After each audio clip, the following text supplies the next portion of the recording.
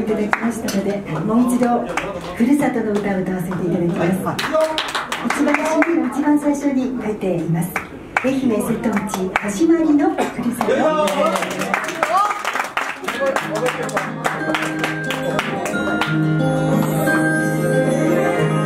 媛県は瀬戸内海の南側美しい自然にあふれた